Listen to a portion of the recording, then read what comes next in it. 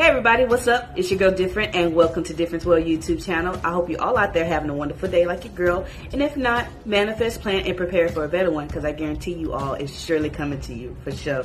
And if this is your first, second, or third time or more to my YouTube channel, you guys, welcome. Happy to have you. Before you leave, definitely hit that subscribe button and that notification bell so when I drop content, you guys come into Difernt's World and you come and learn about your girl.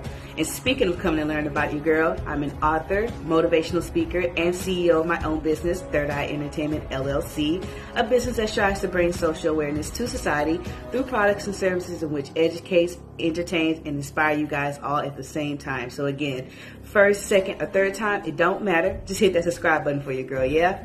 All right, you guys, getting right into it. It's Sunday. A happy uh, Sunday for you guys. Fun day, they say. Um, on Sundays, you guys know we drop our spiritual, motivational, or inspiration content for those out there who walks with Christ, who believe in Christ, those Christians. Uh, um, for those like myself are, are, spiritual beings. I don't claim a religion, but I, I definitely believe in the higher power that's known as God. And so this is for you guys out there uh, Sundays, you know, want to uplift you guys. And so with this one, uh, we're going to title it Walking by Faith and Not by Sight, as it says in the scriptures, uh, 2 Corinthians 5 7, for we walk by faith and not by sight uh, when we're going through.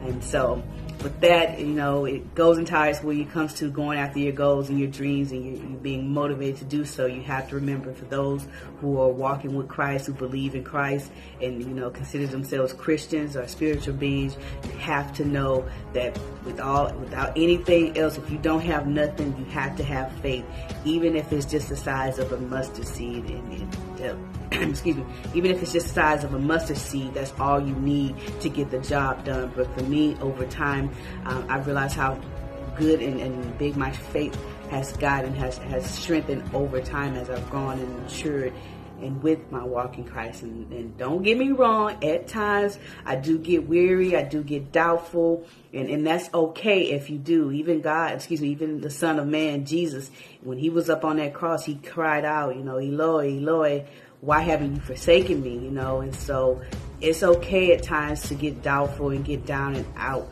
But at times, you know, when it gets the hardest, you just have to remember to keep the faith and keep walking by faith and not by sight. And what that basically means is something that's not there, even though you don't, you can't see it, you can't touch it, you can't smell it, but you believe it, you feel it, you know that it's coming. You know, for instance, for me, when it comes to reaching my goals and dreams, you know, the, one of the immediate goals that I have uh, is to get on the Roland Martin Unfiltered podcast and promote myself and, and, gain some exposure. And so it hasn't happened yet. You know, I keep sending them emails and messages, you know, uh, and I'm going to continue to do so because I have faith that one day I will end up on the Roland Martin Unfiltered podcast. And, you know, that'll be, for me, I believe, one of the big breaks because, uh, as I stated it before, when you go where you celebrate, not where you tolerate, that's where, you know, you'll, you'll find yourself with the target audience that you need. And so I'm going to keep building and keep walking by faith and not by sight until I get there. And also, don't forget, you guys, even though it's, it's, it's, it's a must as you're walking through Christ to keep the faith, also remember faith without work is dead. And so you can have all the faith that you want, but if you don't get up and get out and go get it, then basically your faith is dead. And so when you're walking by faith and, and not leading by sight, also have to remember to keep putting in that work and knowing that your hard work is going to pay off. Your faith in yourself and in God, it will, whatever you're manifesting, planning, and preparing for, it will come to pass. And so, always, always, you guys keep the faith and walk by faith and not by sight. And, and with that, uh, you guys know when it comes to motivation and, and, and preaching the word, if you will, you, I believe you need to hear from more than one person. So with that being said, you guys, check out this dope inspirational video I found from Above Inspiration talking about walking by faith and, and how it, it helps to build, you know, into, you know, your faith and builds you up as a, a spiritual being. And so without further ado and me popping my chops, check it out. If I should ask you, are you walking in faith or are you walking by sight? How would you answer that? Do you walk according to the will and purpose and plan of God for your life? Are you just walking, trusting, and hoping things will turn out? God wants us to walk trusting Him for every single thing. And that is, He desires that you and I walk by faith. We either walk by faith or by sight. Most people, they got to see it to believe it. I think all of us have moments in life when we want to hear God's voice or receive some definite sign from Him regarding a relationship, perhaps a pending marriage, a business decision, a career choice, uh, or a major expenditure.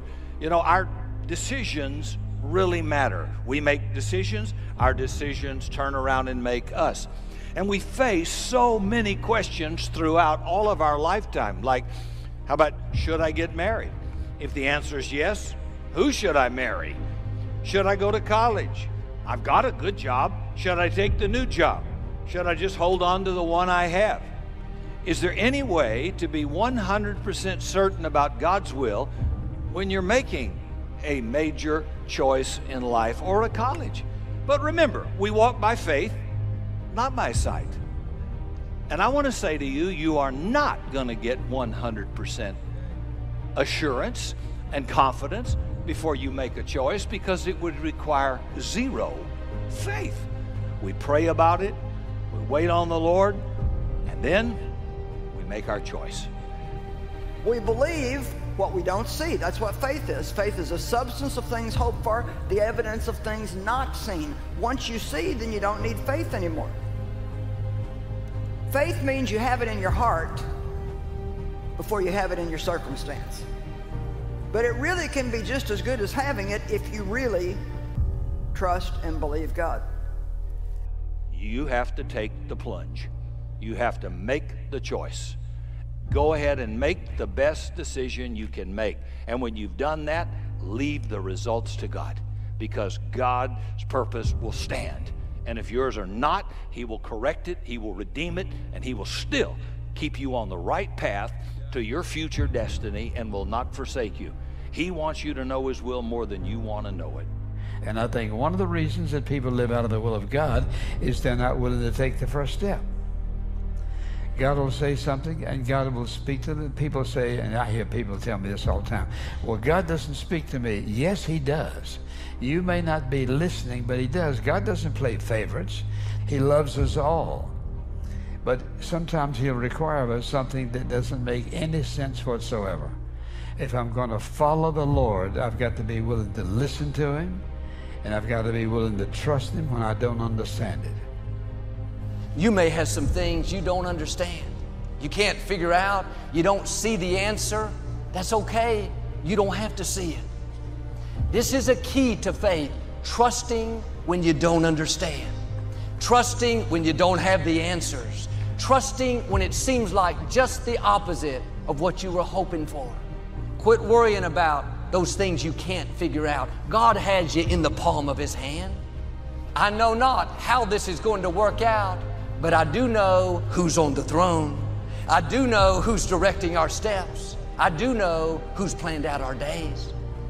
Before you were ever born, God pondered plans He had for you. Before there was even a single day to your existence. And He established your purpose before you were ever created in your mother's womb.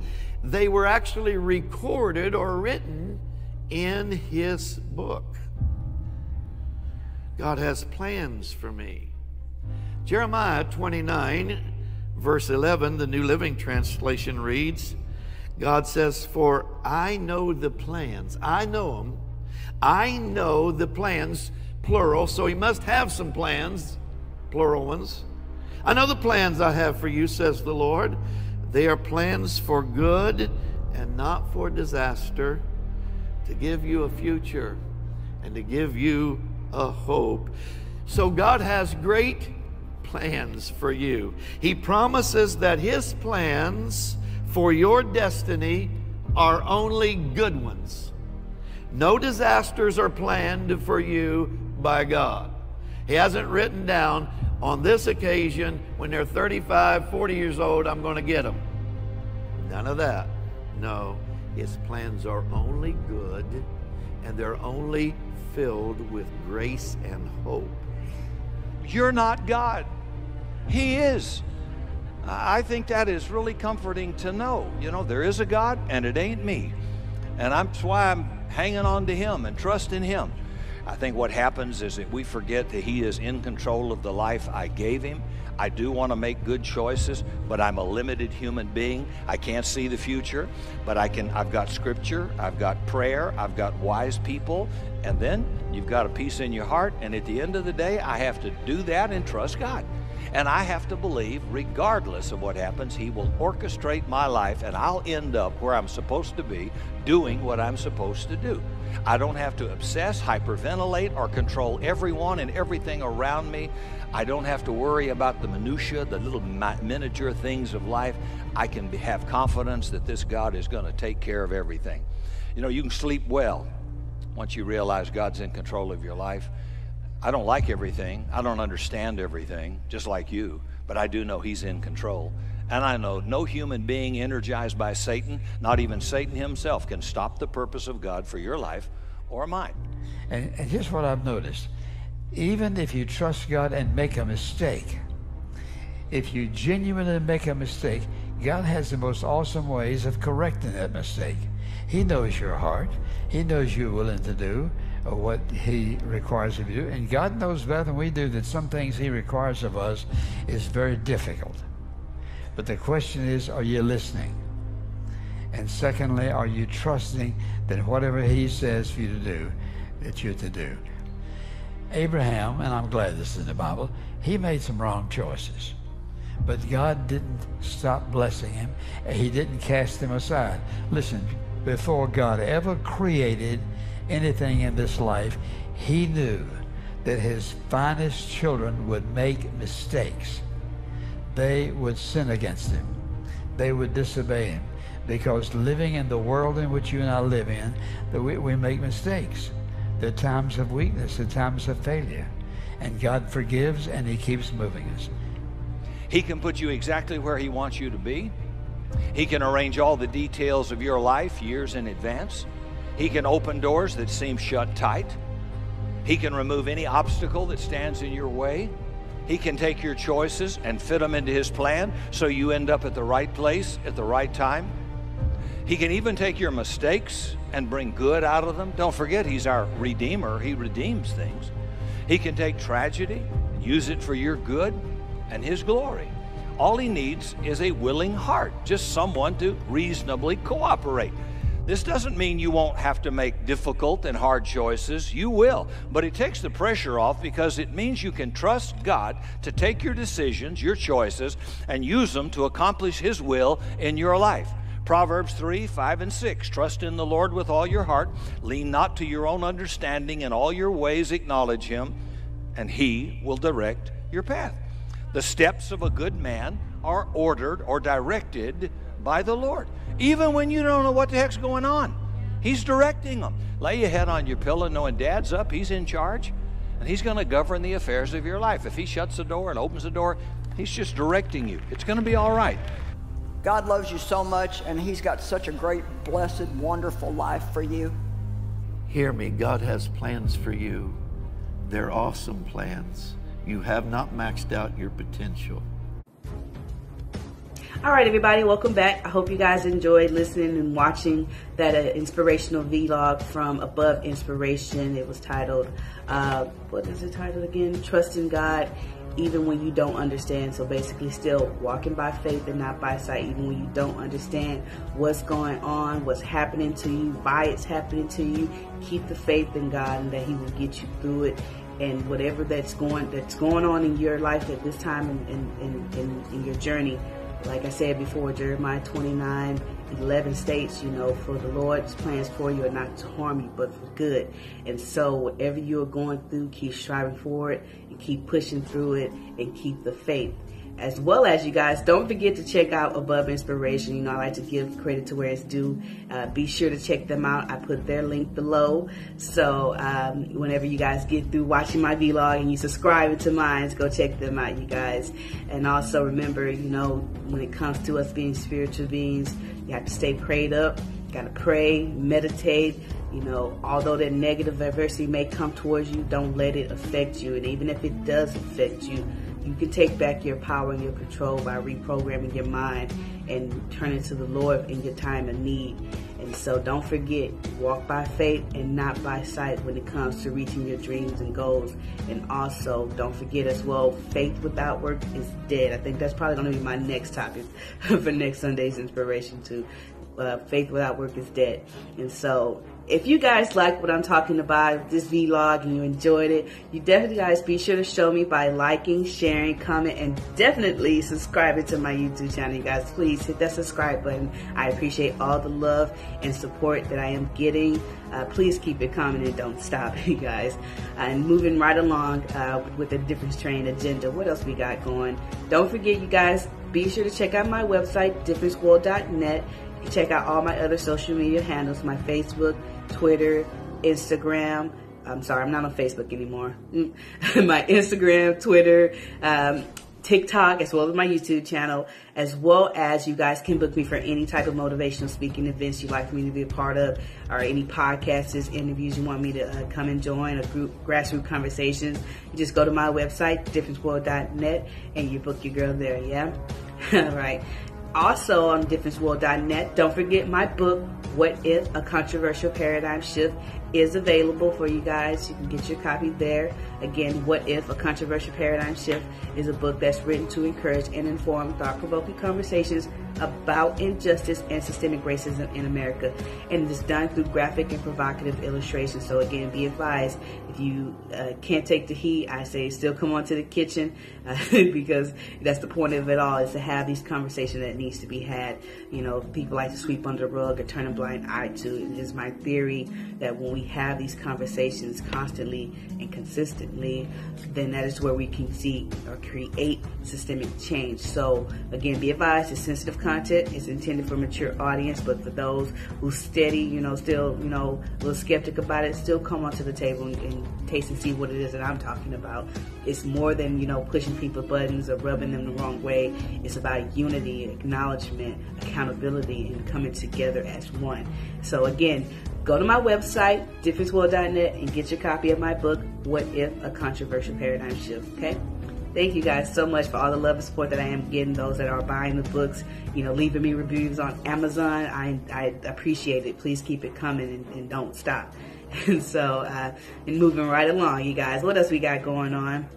Uh, let's see. Tomorrow's Monday, so you know on Monday we drop our motivational content. So be on the lookout for that, you guys. I don't know what topic I'll be talking about, so uh, that's why you guys got to hit that notification bell. So when I drop the content, you guys come into Difernt's World and you come and learn about your girl and what I'm talking about, what I'm bringing to society for you guys. And um, uh, again, don't forget hit that subscribe button and notification bell for me. All right. Uh, what else we got? Lastly, but most importantly on the Difernt's World agenda, we have our mental health check. And it, it goes into anybody out there that's going through any type of mental anguish and struggles, you know, illness, whatever you want to call it. Uh, please know that it is okay to not be okay, but do not sit there and not be okay go get help, whatever that may mean to you. Talking with a therapist, a family member, a pastor, a friend, you know, getting involved with your community, picking up new habits, dropping old habits, or bad habits, if you will. Whatever the case may be for you to keep your mental health in check and not go off the deep end, or possibly taking anybody with you do it. If you need or if you know anybody who may need these mental health resources, please feel free to share it with them. The crisis hotline number is 1 800 273 8255, or you can call or text 988, or you can text 741 741. And for those that would prefer, you can go online to mentalhealthishealth.us or you can visit 988lifeline.org. And for those that are outside of the U.S. and like watching your girl's YouTube channel, you guys can check out encounseling.com, and that's spelled E-N-C-O-U-N-S-E-L-I-N-G.com. Lastly, you guys, also remember, although I am giving you these mental health resources, it is on you to do your own homework and research and find what works for best for you. Because at the end of the day, you're the captain of your own ship and you decide where to navigate the waters. as well as whatever you are going through, whatever trial and tribulation that you may be experiencing right now in your life, please know that this too shall pass and you will get through it. So whatever it is that got you feeling like you should go off the deep end, don't because it's not worth it. Okay? So and close out of mental health, let's end it on a positive note and keep it moving with a different strain, you guys. Again, I truly enjoy, you know, all the love and support that I am getting. Please keep it coming. Uh, guys, I hope you enjoyed listening and watching uh, my message for today, as well as that above, uh, excuse me, that, that inspirational message from Above Inspiration. Be sure to check them out again, you guys, as well. And if you guys like, again, the, con- the content that I'm bringing, you guys be sure to show me, you know, liking, sharing, comment, and subscribing, hitting that notification bell. It all works the same, you guys, and I do appreciate it. Keep it coming. So with that being said, anybody out there that's going for their dreams and goals in life, remember you have to walk by faith and not by sight. And when you're doing that, manifest, plan, and prepare for it. And then whatever it is in life that you feel you're destined for, it will surely come to you. Difference will. Come and learn. Peace. What if? What if in 1619 Africans started dealing in slave trading? The tables were turned around. What if they kidnapped millions of Englishmen, women, and children from their homeland and brought them to America on a slave ship? What if a controversial paradigm shift is a book written to inform and encourage consistent, thought-provoking conversations about injustice and systematic racism in America through graphic but provocative illustration? What if provides a different perspective by detailing controversial deaths and events as four categorized paradigm shifts: historical, political, precedent, and hypothetical. What if a controversial paradigm shift by author Difernt. Go to differenceworld.net